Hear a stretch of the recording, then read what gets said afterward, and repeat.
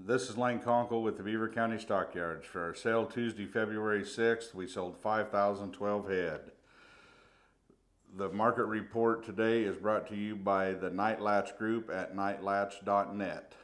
We had 93 steers weighing 913 pounds, bring 226.75. 114 steers weighing 807, bring 244.50.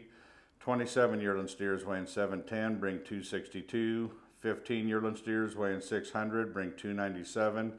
And four weaned steers weighing 514, bring 336. 35 guaranteed open heifers weighing 966, bring $1.90. 132 guaranteed open heifers weighing 848, bring 214 and a quarter. 70 guaranteed open heifers weighing 707, bring 234.75. 74 guaranteed open heifers weighing 637, bring 256. And five weaned heifers weighing 519, bring 280.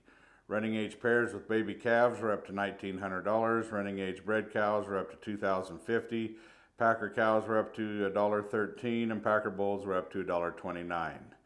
Already consigned for next week are four loads of five to nine year old P1 to P3 cows, 20 head of some really nice three to four year old Angus P3 cows and pairs, uh, 30 fancy four year old Black Angus P3 cows, that's a herd dispersion, and 27 Black Angus and Black crossbred bred heifers bred to low birth weight Angus bulls.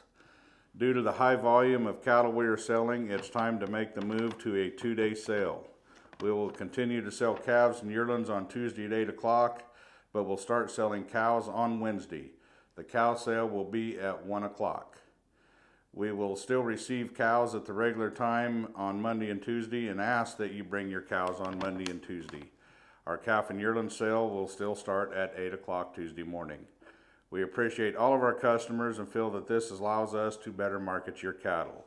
For your cattle marketing needs, call the Beaver County Stockyards at 580-625-3051.